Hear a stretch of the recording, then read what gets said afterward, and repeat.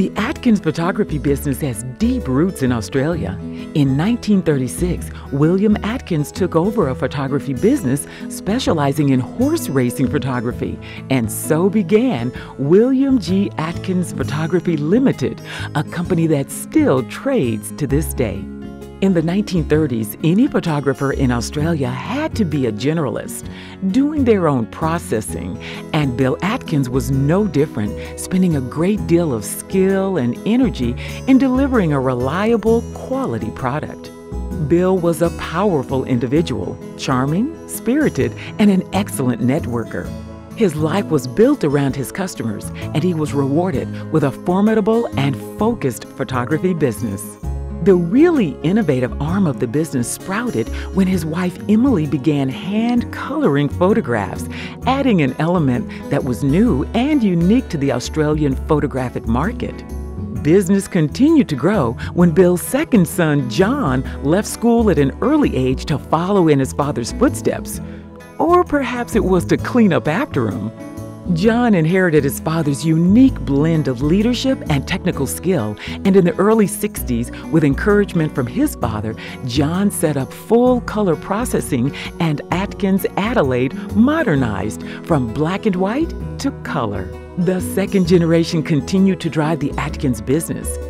New growth came from both John's careful customer focus and that of his wife, Marilyn, who developed many exciting new products and brought a corporate professional feel to the company, modernizing it from its strong owner operator roots. In 1993, the third generation joined when their son, Paul, fresh out of a Bachelor of Business degree, began working for the company, and it was just in time to enter the digital world, a transition that Paul championed. Paul was quick to pick up the evolving technology and brought Adelaide into the digital age of photography. Atkins' entry into digital had two focuses matching the quality of analog printing and educating their clients about how to use the new digital capabilities efficiently. In 2006, Paul became managing director, CEO, and constantly battled with changes as digital viewing and sharing reduced the demand for photo printing. They tried many new products, always promoting education and industry involvement, but nothing seemed to change the downward spiral. In 2008, they founded PicPress with three other partners attempting to move into the photo book business, but this too did not bring sufficient business growth.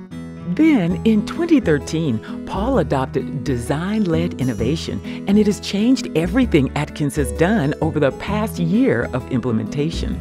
Paul's wife, Kate, became Atkins' creative director, and the look and feel of Atkins has moved from corporate to a personal feel, putting family history up front. The focus on client driven innovation led to changing product lines and offerings and a fundamental change to their marketing and service strategies. Atkins is focused on its clients more than ever. Every product and communication is being shaped to meet the most demanding market conditions in their history. They can turn on a dime, no longer longing for the past, tailoring the skills of their operations with how people are living their lives. For the first time since those heady days of the mid 80s, the lab, built by three generations, has turned around its sales, seen growth, and is ready to take the industry by storm. Congratulations to Paul Atkins from Atkins Photo Lab.